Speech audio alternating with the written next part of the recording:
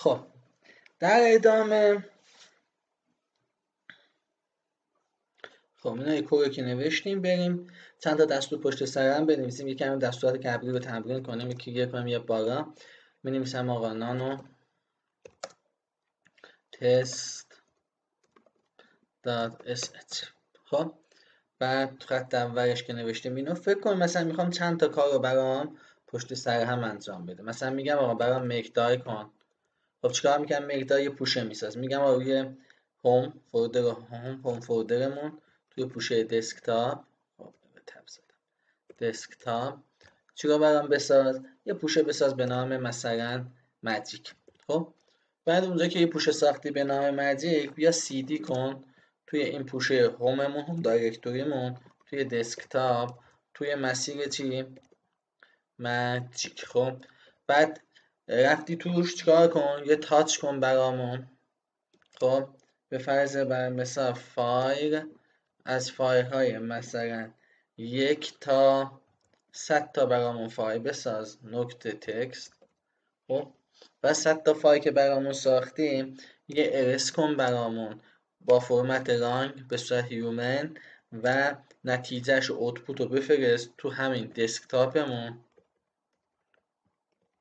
تو همون desktop مون اسمش رو چی بذار؟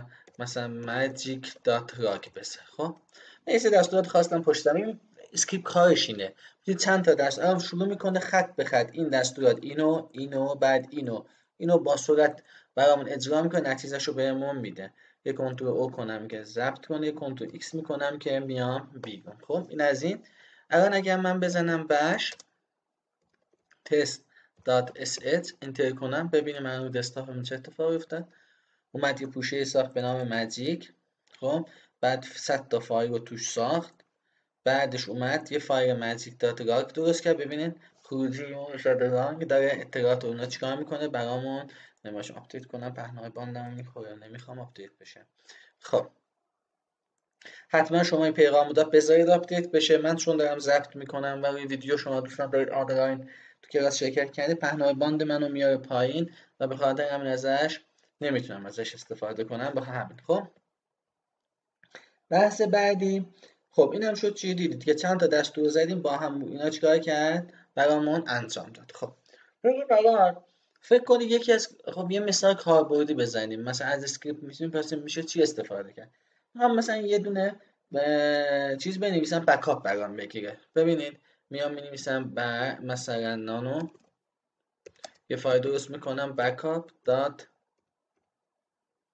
backup داد مثلا اسید خب عمدن دارم هی می‌خوام دستورات جلسات قبل رو چیکار کنم؟ شارپ فاکتور یه از پوشه این مفسر رو بهش میده. این دستور ننویسه کار نمی‌کنه. این میگه که اینترپریتدش یا به گور خودم آخر سر من درست تلفظ کردم. اینترپریتدش یا همون بحث مفسرش چیه؟ این هستش یعنی اینو کدوم دستور رو داره کدوم سیستم داره اینو تفسیر می‌کنه؟ پایتون بنویسین باید پایتون رو بنویسین bash script باید بنویسید اینو بنویسید. bash script نویسی در اصلا اسکریپت نویسی در لینوکس اصلا قابل قیاس با ویندوز. ویندوز در این زمینه خیلی ضعیفه. واقعا اسکریپت نویسی در لینوکس خیلی یعنی دست گستر دستش. ببینید ما الان یعنی میشه به جرأت گفت. ببینید یه زمانی بود می‌گفتیم مثلا سرورهای ویندوزی و لینوکس. خب داشتم با هم مثلا 60 درصد مثلا اگر تو دنیا لینوکس بود 40 درصد هم ویندوز بود. خب اما الان من می‌تونم به جرات بگم 90 درصد 90 بیشتر 90 درصد سرورهای دنیا روی لینوکس چرا؟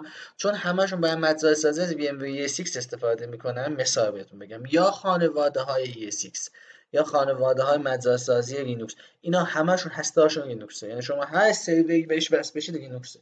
و لینوکس برای اینکه کارها رو پشت سر هم انجام بده به اسکریپت نویسی نیاز داره. به خاطر خیلی به این موضوع با دقت نگاه کنیم خب جلسه گپ خوندیم. می‌خوام یه بکاپ بگیم از دستور تر استفاده می‌کنیم. بعد میگیم آقا خروجی چی؟ کامپرسش کن. بعد به صورت ویژوال بهمون نشون بده. زیپش هم می‌خوام بکنم. به صورت چی؟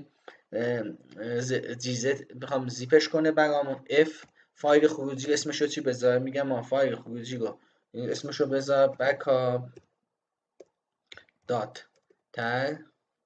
در چی بود؟ جی زد خب این زیپش کن. تو این فایل چی رو میگه زیپ کن؟ میگم آقا از مسیر جاری بذار کمی اینا رو ترکیب استفاده یادتون بیاد. مثلا اطلاعاتی که تو دسکتاپ هستش و اطلاعاتی که توی مثلا دانلود هستش و یا اطلاعاتی که توی چی هستش؟ پیکچرمون هستش. اینا رو بیا زیپ کن و بذار توی چیز. این مسیرم خب؟ اینو بعد می نویسم یه control O می‌کنم بعد یه کن enter می‌کنم یه control X می‌کنم و میام بیرون خب؟ یه کنم ببینم ساخت. بله نگاه کنید. backup dot sh رو ساخت. بعد می‌زنم bash نگاه کنید. backup dot sh enter کنم. ببینید. بذار ببینیم ساخت یا خطا داد.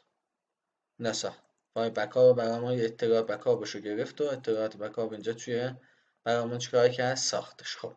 بعد فکر دوباره رام بزنم بسازه. همین بک چه اجرا کنم ببینید خطا داره میگه. میگه که یه فایل میگه ببین نمی‌تونم چون اینا cannot no such on دانلود اشتباه نمیشته من؟ دانلود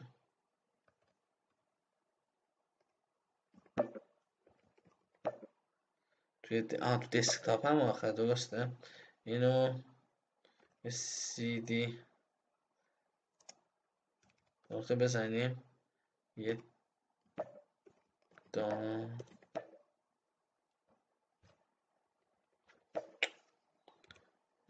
اس دی دی استارت خب چیا داریم؟ اس دسکتاپ. دانلودز ببخشید. داکیوم پیکچرز اینجا من چیکار کردم؟ اشتباه نوشتم. بذار درستش کنم. نانو. میزم بک آپ داد اس اچ. خب. اشتباه نوشتم. کنترل ایکس. آها توی دسکتاپ سی دی. دسک توی دسکتاپ. بعد میگیم نانو. بک داد ببخشید خب درسته ببینید تا این این دانلود اینم پیکچرز خب این از بعد یه خطایی هم داره می‌خوام خطا رو چیکار کنم هندل کنم یه مثال گریم جلسات قبل یاد خواستیم backup handle کنیم گفتیم standard error تنظیم بشه به کجا مثلا یا می‌گفتی بده به error نقطه text بریز توی error نقطه text یا بذار امروز یه موضوع جدید بتونیم نمی‌خوام خطا رو بهم نشون بده میگم بریز توی dev تو device ها یه یه null اگه بخواد چیزی رو نشون نده بگید خطا رو بفرست به dev device null هیچ دیگه اونجا بهمون نشون نمیده. خب اینو من الان یه کنترل کنم ذخیره کنم به کنترل ایکس کنم بیام بیرون. یه کت کنم ببینم. بک داد. ببین دستورات دارم کار می‌کنم که یادتون بیاد. نگاه کن تک. خب من بزنم بک. اپ فعلا چون اگزیکیوتش نکردم باید با بش بگم میگم بش بک.